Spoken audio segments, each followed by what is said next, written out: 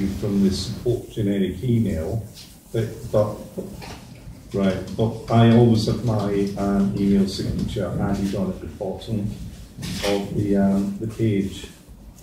So, yeah.